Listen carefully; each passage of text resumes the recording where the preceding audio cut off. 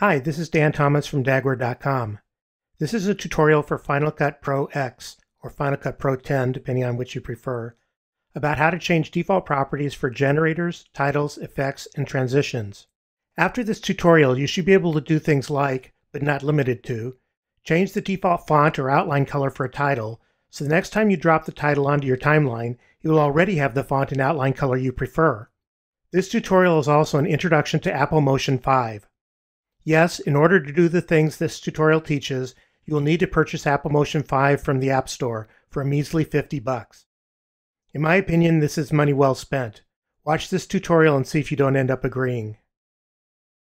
The software packages used in this tutorial are Final Cut Pro X 10.1.1 and Apple Motion 5.1. The topics we will cover are changing default properties for generators, caveats for changing properties for generators, titles, effects, or transitions that are in use, changing default properties for titles. Armed with this information, you'll be ready to try changing default properties for any Final Cut generator, title, effect, or transition. So let's get started. One of the things you could do incredibly easily with Motion is change the default property values of Final Cut generators, titles, effects, and transitions. We're going to start with a slightly contrived example. You may never want to do this specific thing, but it illustrates the point. And it's a nice simple example to introduce the process of changing default property values. We'll do something a little more useful as soon as we're done with this example. Let's say, for the purposes of this example, that we regularly use a custom generator and set its color to red, like this. Let's change the custom generator so it defaults to red.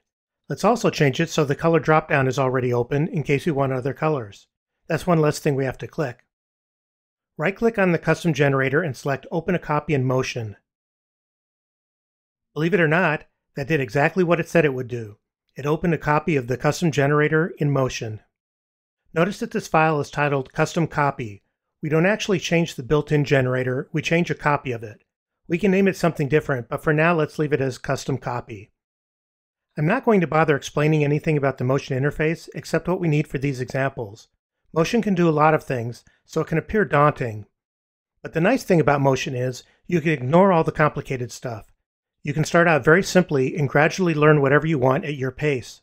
Even if you never learn anything other than what I show you in this tutorial, it's worth the $50 from the Apple Store. I'm going to go through this very quickly. By default, Motion should have opened up with most of what we need already selected. You can watch this section multiple times if I go too fast for you. We want to change a project property, so make sure the project is selected. Make sure the inspector pane is visible. If it isn't, click this icon.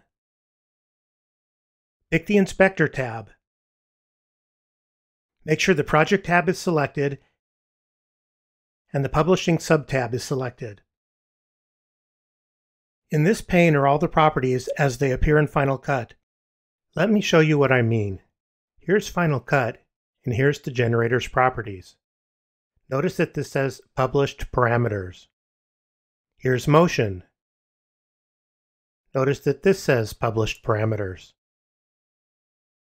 Final Cut. Motion. The way the published parameters appear in Motion is how they will appear in Final Cut. The same holds true for titles, transitions, etc. So let's change the publish parameters in Motion so they will appear in Final Cut exactly as we want them to. For our generator, it shows the color property set to black and the controls collapsed. Let's expand the color property and set the color to red. Save the file, then switch back to Final Cut.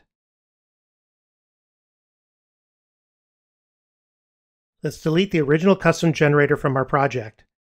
Now in the browser, notice how our custom copy is already present in Final Cut? We didn't have to restart Final Cut to see it, it happened automatically. Let's add our new generator to our timeline. Notice how the color is now red and the dropdown is expanded. That's it, that's all it takes. I want to show you one other thing using the generator before we move on. What happens if we're already using our custom generator and we change the default color again? Well, that depends. The bottom line is that you need to be careful with your generators or titles or whatever if they're being used in projects.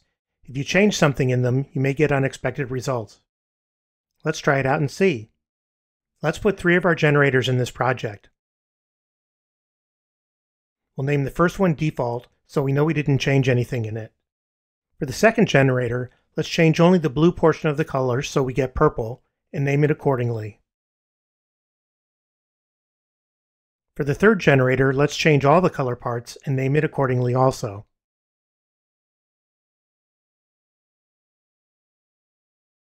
Now let's change our generator in motion so it's yellow instead of red. Save it and switch back to Final Cut.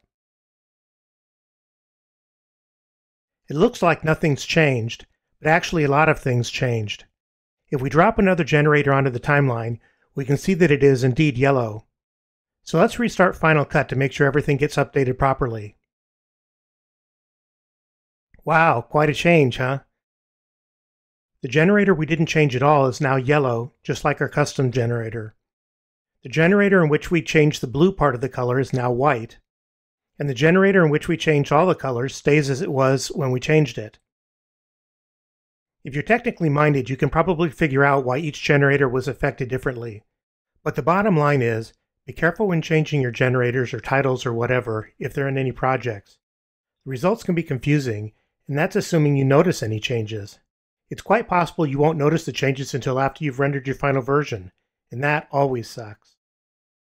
Let's move on to an example that will probably be of more use to you. Let's modify a title's text default properties. We'll start by adding a basic title to our project. Notice that for this title, there's nothing in the published parameters pane. If there was something here, we could change it just like we did with the generator. But for this title, we're going to be working with the text pane. So let's change the font size so it's easier to see on this screen. Now let's turn outline on. Ugh, red. Who thought that would be a good outline color? Also, the sliders for red, green, and blue don't show here. So let's change that. Open a copy of the basic title in Motion just like we did with the generator. This may open up with this group collapsed like this. If it does, just open it up like this. We want to change the text item, and that's the item with this icon next to it. Just to warn you, some of the titles can be quite complicated, and figuring out what to change can take a little trial and error. No big deal, just be patient. For the basic title, this is the item we want to change. Again, pick the Inspector tab. We want the Text tab and the Style subtab. A little exploring will show you where everything is. Make outline active. You can't change anything in it unless it's active. Once you're done changing things, you could turn it off before saving it if you wanted to, but we're going to leave it active. Expand color and change it to black. Save it and switch back to Final Cut. We're going to delete the title we had in the timeline and then add our new basic title copy to the timeline. Again, we'll increase the font size so we can see it better.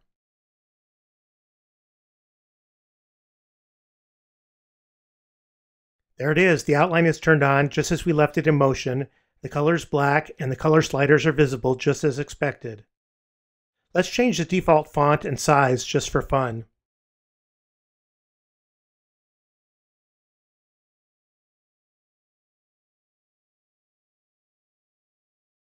We have to delete the title from our timeline and re-add it to see these changes. And there it is. The new font and font size worked great.